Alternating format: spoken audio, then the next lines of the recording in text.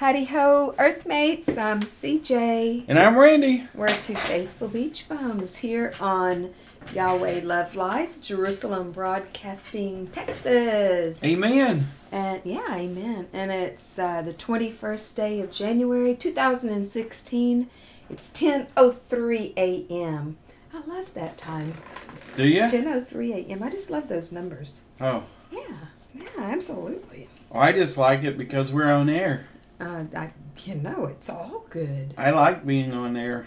Yeah, absolutely. Absolutely. Well, Uh, usually, this is where you have something to say while I'm checking our sound. Uh, yeah, well, I think that you just need to talk here for a minute because I'm in the midst of something quite important. really? Uh-huh. What did that be? Posting? Oh, you poor folks that are out there on F- Facebook, stand tight because she's going to send you a message. yes. It won't let me log out. Is Um, that the craziest thing you ever saw? Well, wh- while CJ Yes, is doing is. that, I just want to let everybody know that we are right, Jerusalem. Broadcasting, Texas, and you can listen to us on your iPhone. Uh, at, you know, if you get your app, and you can go to type in. And it's a cute little app too. It's got the wave and the beach bum standing there, and it says, "Well, it's really kind of hard to see because it's so tiny, but you do catch the essence of the the beautiful blue color. That's almost kind of an Israel blue, a Yeah. little more bluish, and a more sky blue, and uh, the the little surfer guy and girl there, which are um, two cartoon characters that we just kind of connected with, and yeah, it's great. It's awesome. Yeah. So, anyway, you can get our app. Those that are listening um, from your desktop or your uh, from your laptop, and at the same time, we have a YouTube channel that you can go and listen to um, some of the playbacks uh, of the radio show. We also have our own demand, and I and I've been keeping up pretty pretty tight on that. So if you miss one, you can go back and listen to it on the on-demand part of our radio show website. So, anyway, um, lots of ways to be able to hear the living word that the Lord has given us. And today, I find it very interesting, CJ, is that yesterday uh, and this morning, the word complacency came up several times. Are you, are you going to talk about that? then? Yeah, well, yeah, and and the reason why is is that we we wonder uh, as believers if if we're fulfilling those things that God intends for us to do. And sometimes there's a fire lit under us, and sometimes it's kind of like, oh my goodness, what did I do today? And there was something that I went to the Temple Institute this morning and I listened to the the rabbi there. He has a message almost every single day.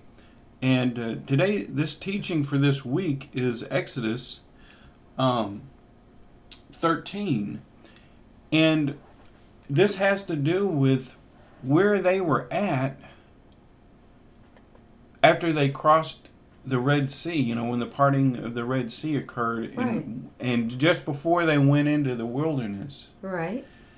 And you see, after three days of being into the wilderness, they had forgotten about the miracle of walking across the Red Sea with the sea parted. Right. And they were going, ho hum, you know, now, now what are we going to do? Not only were they saying that, but they are also saying, I'm hungry. so, so Something besides manna. well, no, at that point, the man, the third day is when the manna Oh, came. well, yeah, I thought you had gone further than. I don't know that they were going ho hum before three days. Well, no, that's I- why you I was lost just me. going based on that's on- why you lost me, man. Oh, sweetie, that's what I was going based on what the rabbi was saying. He Uh-huh. was saying they were going ho hum now. Mhm. They were becoming complacent. That Right, they right, they right. they were like I'm either way.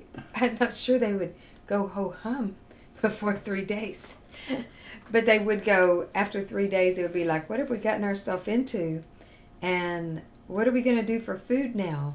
Because all of our supplies are are dwindling, and we're hungry, and our children are hungry,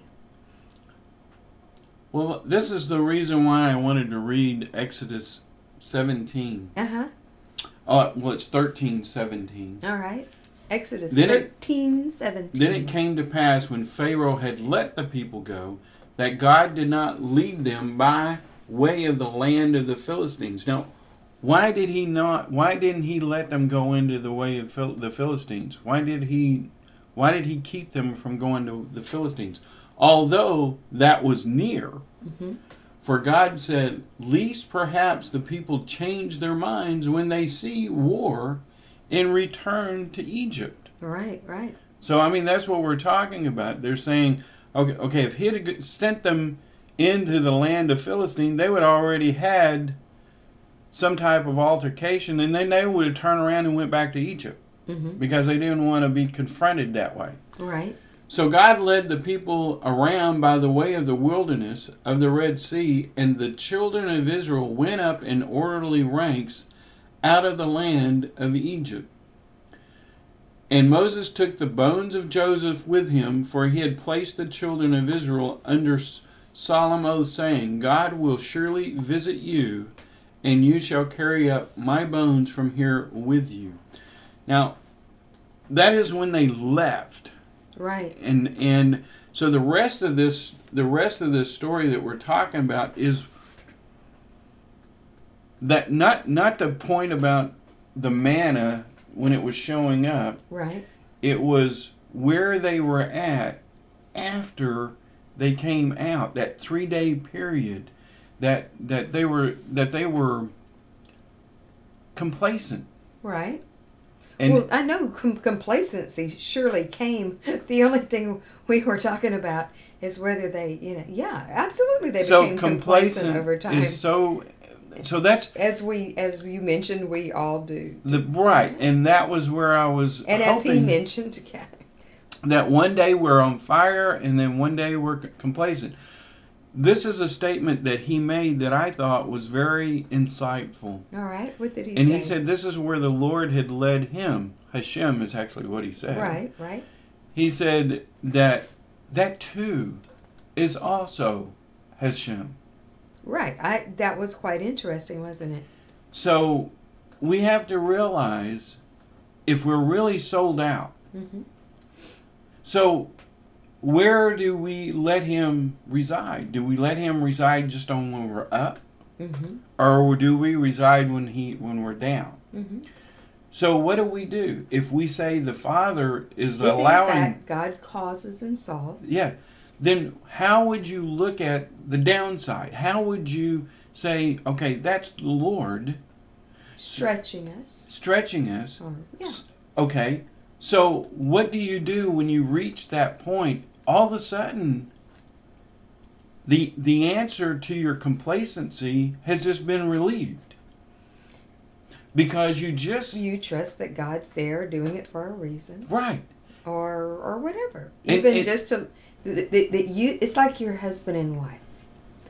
Well, do they tell you they love you every day? Do they do they give you sweet adoring things? Do do you call your children every day? Do your children call you? You know, all those kind of things, whether you do or you don't. Did love cease when you didn't hear from one another?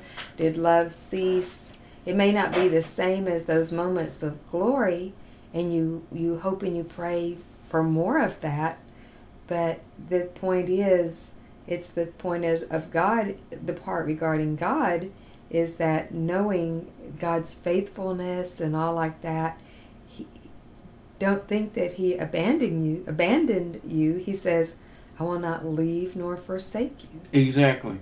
So, so and if you, you wish you could always be the apple of his eye but when you're at that bottom point, yeah if you know, if you if you really believe that God is in control of everything, that He's mm-hmm. in, also in control of that that bad down spawn point, mm-hmm. then but when you hang your hat on him, exactly it raises you up.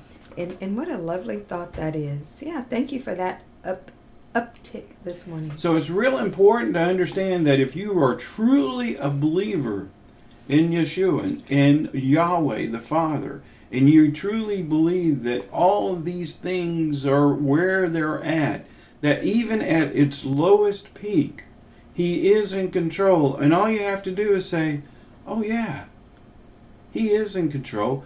This is a downtime for a reason.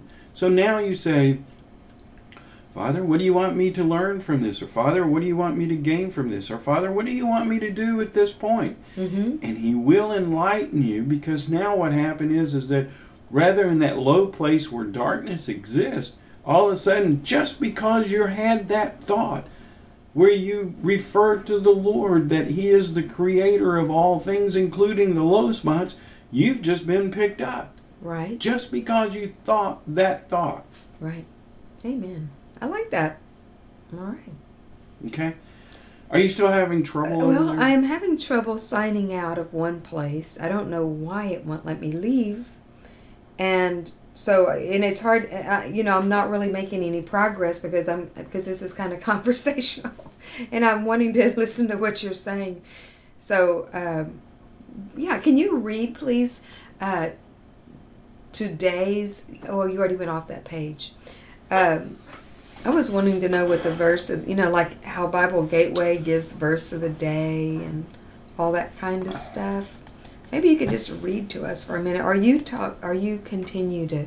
If I make myself a part, then I don't accomplish this end. well, I can say that ba, be- bum. they've changed the format, and I don't have a. I think you have to refresh the page. It brings you. No, I, I went to a brand new thing. Oh, you did. I did. This is what I get mine, now. yeah, mine came. Oh, that's really strange. Hmm. It just came up yesterday the other way, but oh well. What you gonna do, right? What you gonna do? Well, there was there was discussion yesterday in regards to which I found uh, very interesting that that there was you were watching some videos from Sid Roth yesterday, and one one of the people that was discussing was was one was a minister who um, does a lot of um, uh, I, I guess you could say appearances and talks and stuff. And one of the things that he talked about was the time that we're in. We're this moment that we're in right now. The physicalness of the world is that entry time of the end times to usher in the Mashiach. But he also modeled that as the three and a half years that Yeshua walked before he was crucified, that his ministry was established during that time. That is the same time to which we're working, where we're ushering in the end times, is the same as his three and a half years that he walked before he was crucified, before he was his ascension. That that's where we're at. That where we're at is that three and a half years of before he returns as the Mashiach. That this time that we're walking is is the the parallel to when he was walking back then. We're doing that now. So it's important, in my opinion, that the reason why God put that on my heart to bring to our listeners and to you and I, that that this criticalness of understanding uh, what was happening during Yeshua's ministry during that three and a half years and where he was at on it. We, we talked about uh, the cleansing of the temple, which is occurring as we speak. Um, the oil prices are are dropping. This is this is the lowest that the, the price of oil has been since 1996 Mm-hmm. per per barrel. Not the price of the gasoline, but the lowest that the price on barrel has been since 1996. Yeah, that's a long time. Yeah. And and they're 20 saying that it's going to continue to drop. They're saying that it could even drop down to like ten dollars a barrel. Right. But you know that's yet to be seen. But if that did, boy, my goodness gracious alive! But what's happening is that a lot of American uh, oil businesses are closing door and filing bankruptcy as as we speak, as these things occur. And you saw what an effect that it had on the stock market yesterday. There was a ton of sell-offs yesterday, but it rebounded. uh, with a small gain, just like right now it's at a small gain. Um, but that shows you the, vol- the volatility of the economic situation that's going on right now and the temple falling relative to what Yeshua said um, during his ministry. Now, at the same time, we also talked about Nicodemus and who he was and how how that plays into what's going on. Well, there's also this this same period of time where there was discussion with the the uh, Samaritan lady at Jacob's well. Right. And one of the things that came up during this weekend during our discussions with family members was about Abraham's well. Well, see, Abraham had a well just the same as Jacob had a well. And Abraham's well, they currently have it identified and they've got it cordoned off where only Muslims can go to it. Hmm. Where it's that Gentiles and Jews can't go to it and go see it. It's kind of like the um, the Temple Mount, where only certain times they allow Gentiles and Jews to go in and walk around at Temple Mount. Mhm. Well, Abraham's well, he and he said, I was like so upset when I when I saw that Gentile that only Muslims can go in is what he said. He says it said only uh, Muslims can can come into where that holy place is at, where Abraham's well is. Right. So there's this separation and, and this segregation. You know, there's this ugliness of trying to keep people from being people. Right. and trying to isolate it so to keep people from how you say uh, not coming together. There's this continuing battle that hasatan does that cause these battle lines being drawn to to make people uh, get angry. And uh, so that's why i brought about the jacob's well in how uh, this time of jacob's well is also a, a, a an understanding about the water and and how in those that are believers that are not becoming complacent that is truly working hard to um, be obedient to the lord um, that's what he's saying is is that if you drink of that water you'll never thirst well when you're obedient to the lord that's drinking of the water that is that is just completely when you're being obedient, which is obediency is better than fasting. The wonderful thing, and it, that's biblical.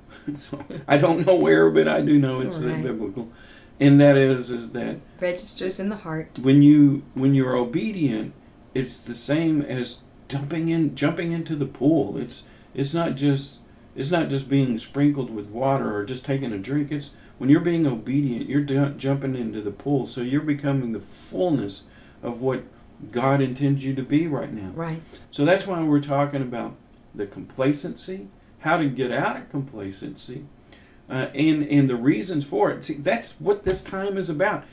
That Exodus 13 from the Temple Institute. This is their weekly reading. That you know their their scheduled reading of of what they read of the Torah.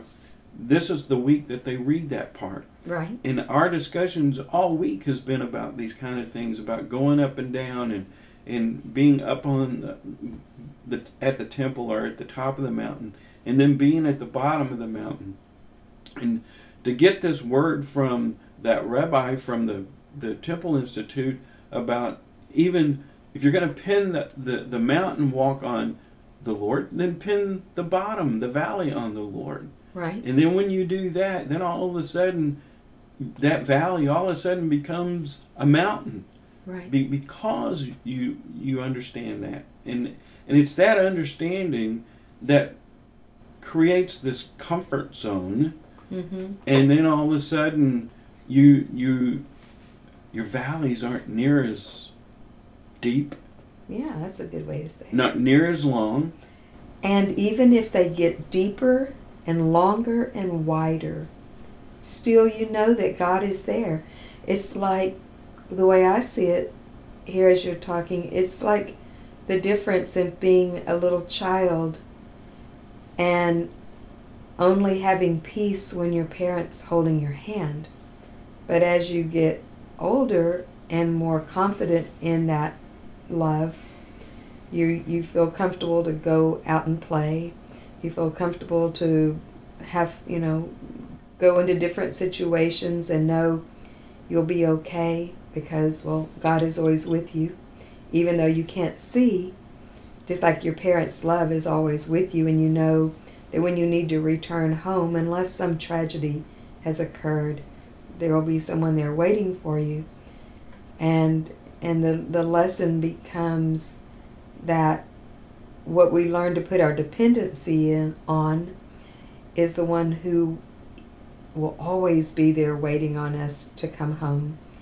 And so we, I, I, you know, I don't even think it necessarily would make the gaps any less deep. Or I, think it, it's it's just that they can be they be they can become ever increasing, though we wouldn't hope that but it could become ever increasing, longer between um, God moments, but be as likened unto Job and knowing God is there. And though, you know, over time the the four that were counseling with him began to get into his head or his spirit or whatever you want to call it. And then here comes Yahweh, you know, out of the from out of the whirlwind God speaks, wanting to know, you know, who's given all this earthly wisdom and can any one of you answer these questions for me, you know? Stand up and answer me, you know, this. Where were you when this happened and where were you? And so what God's saying is, I always was, I, I am now, I will be in the future. And um, so don't you know, never to never to begin to think God isn't there. It's not to say that we never displease God, because you know there's so many things that you know God God hates sin.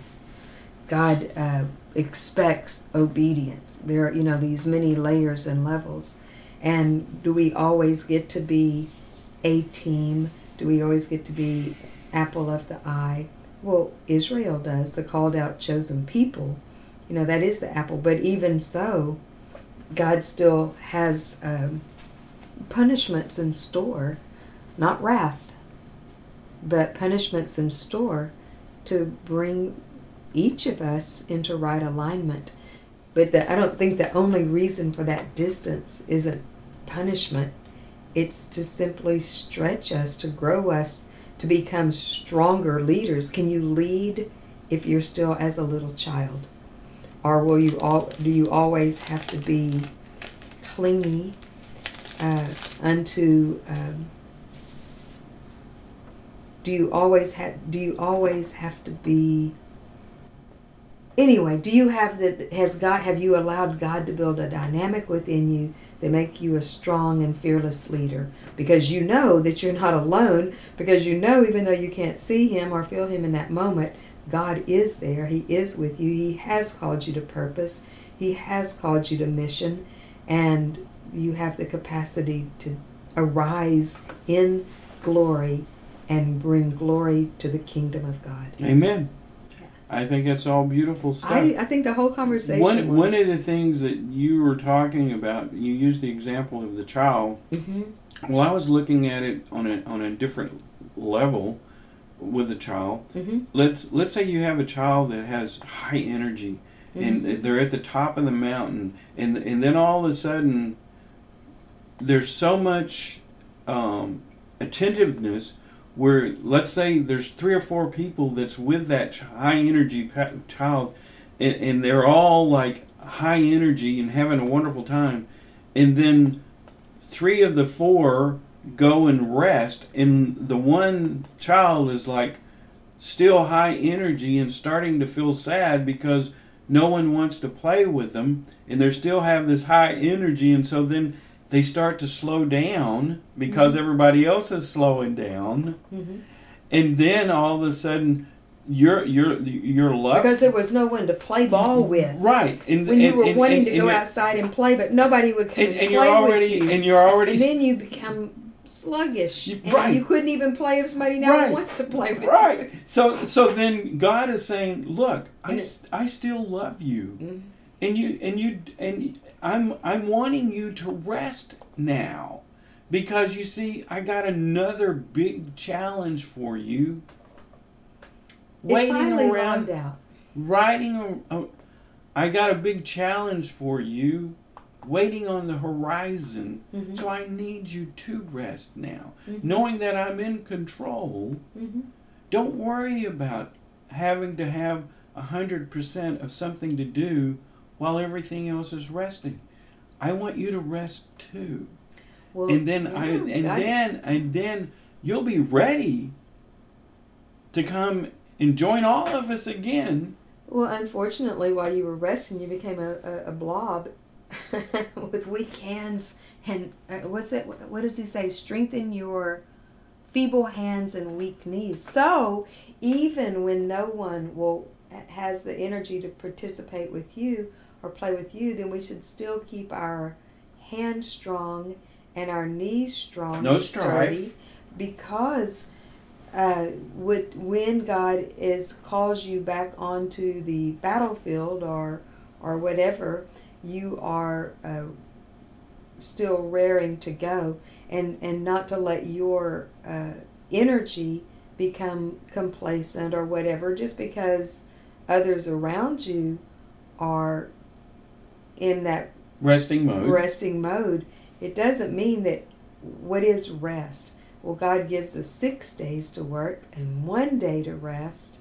And so if you're not buying into this lull, because I would call the rest of that a lulling to sleep, even if God's not actively attentive to you in the moment, yet still that you would be um, inclined if you are so driven, then you, should just continue to press on. It's not like you don't know what to do. God has given you a purpose and a call. And if you don't know what to do, that becomes, that is your prayer. That is your search. God, what do you want me to do? And stay, uh, you know, a, a strong and ready warrior, kind of like the Marines. Get ready and stay ready. Amen. Yeah. Okay, so that being said about the the Samaritan lady Uh-huh. and and how that even could play into the part about complacency, because you see, if you're bathed in the the, the water, the holy water, then you should never have this complacency. Uh, especially if when you find yourself at that bottom level, uh, that the routines of what you're doing is constantly doing the same thing over and over, thinking that this is what I'm supposed to do. Well, if if it's starting to be complacent, then God creates this condition in you that says, "All right, I want to realign you," Uh-huh.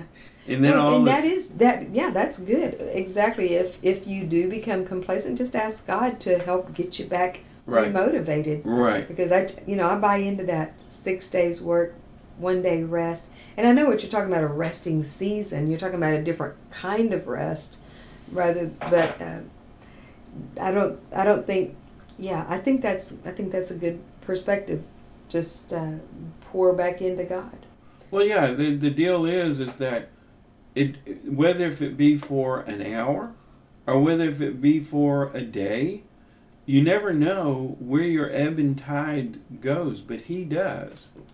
And so You whenever don't know where the wind comes from or where it goes. But he does. Another example. So so what what happens is that if you find yourself at this low spot as a Mhm. believer, the first thing would be is to let the antenna go up towards him in the prayer up to him what you know what's going on here what do you want me to do now is there something and and he will let you know whether if it to be rest or read or sleep or or go for a jog or, or whatever it is but you have to realize that it's it's that downtime that's constructive because it lay he's in control of it just as he's in control of the mountainside of it Absolutely.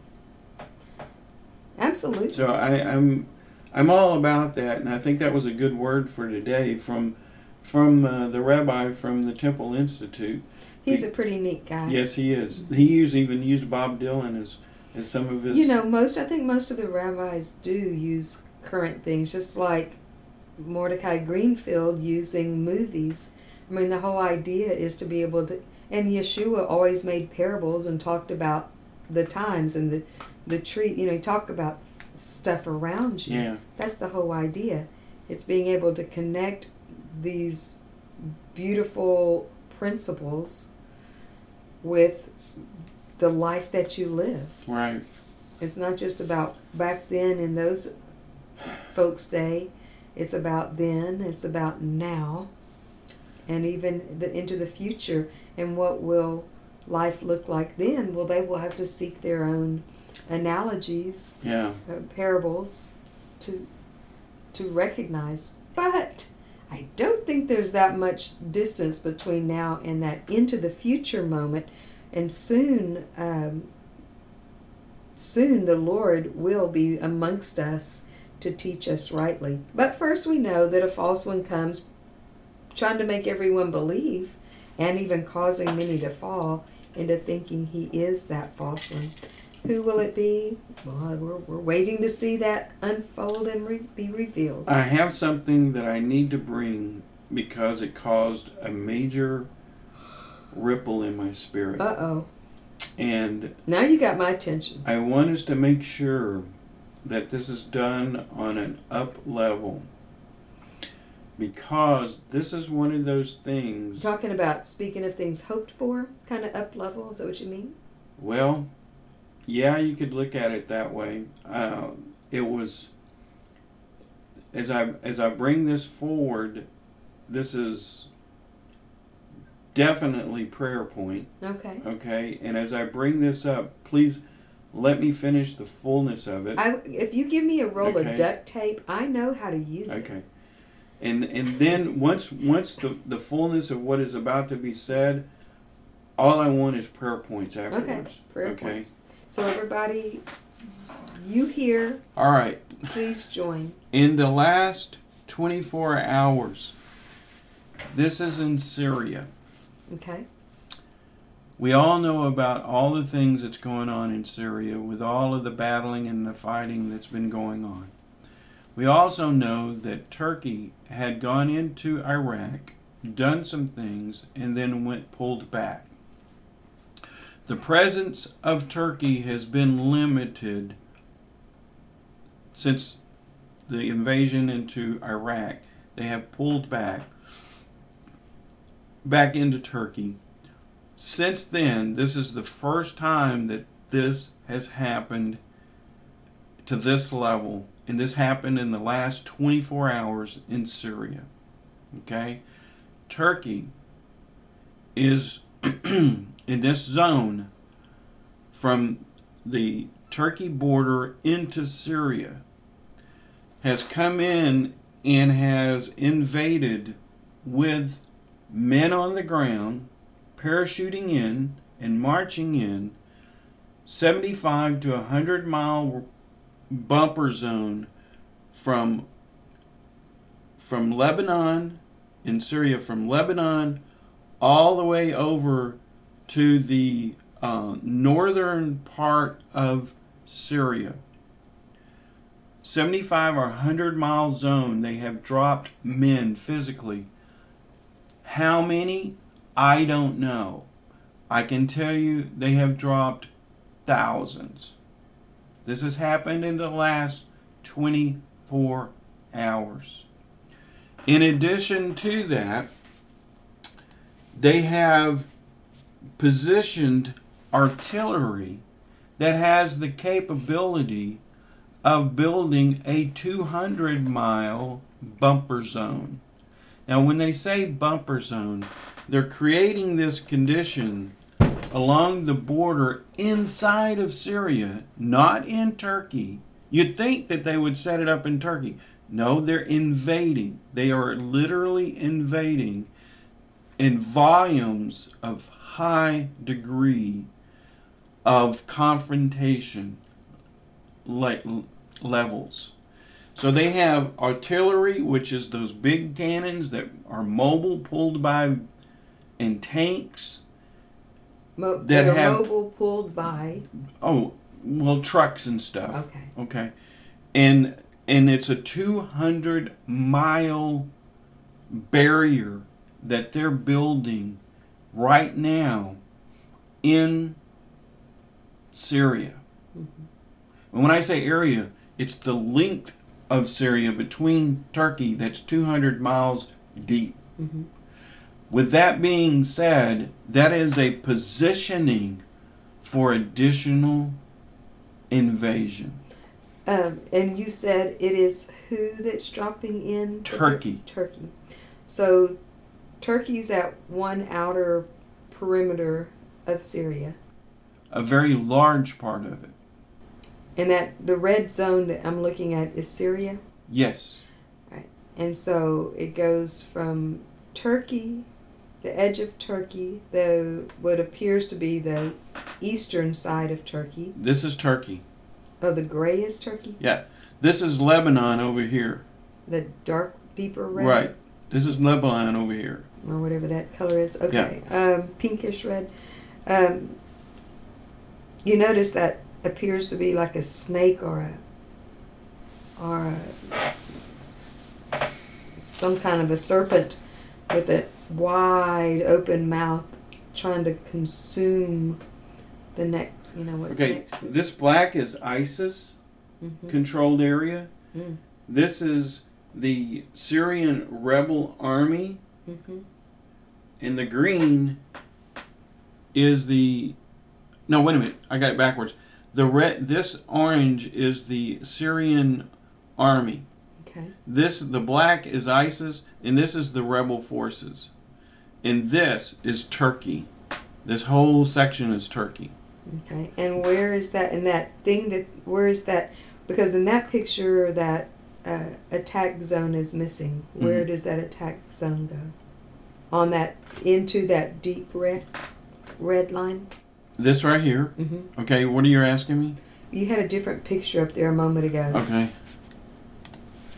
Right because now the colors are all different this is where the confusion yeah is well let me explain something help me all right for everybody okay. that's listening, there is a bumper zone that they're calling a bumper zone, but it's an invasion zone where Turkey has gone into Syria.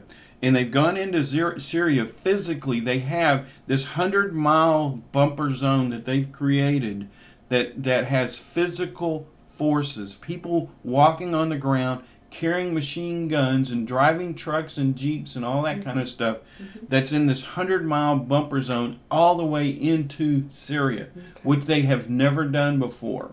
okay Now, in addition to that, and that's what this, if you can imagine this being this wide now, because that, this is what this is. You see how it dropped down to here? So so wait a minute. It's- so that okay, so that deep solid red color on the second map Yes.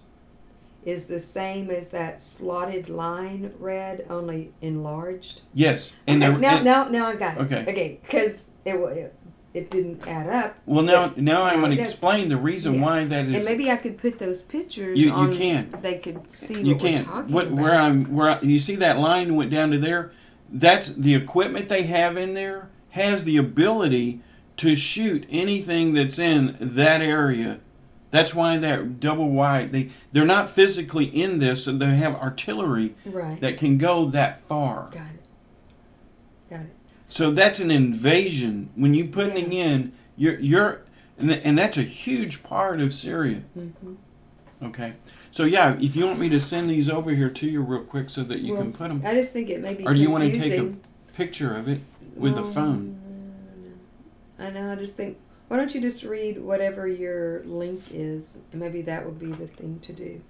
Well, the link is um, southfront.com. Okay, southfront.com. I think that should be sufficient. Otherwise, we're just going to Okay. drag it out where people would have South to. Front. And you type if you go into YouTube channel and type in South Front and, and look at their videos, this gives you a breakdown of everything Okay. that happens in Syria and what day. we're talking about Mhm. here. So, because I'm sure it would be, it's hard for me to follow looking at those two different maps.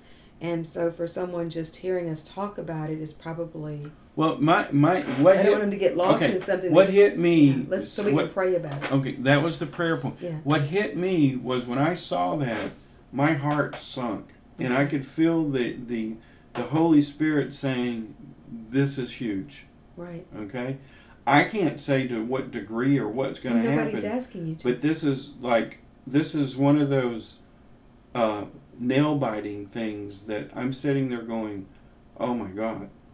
Okay, so this is huge, and the prayer point would be God's will be f- fulfilled. Well, yeah, the God, yeah, the prayer point: be anxious for nothing, but in all things pray.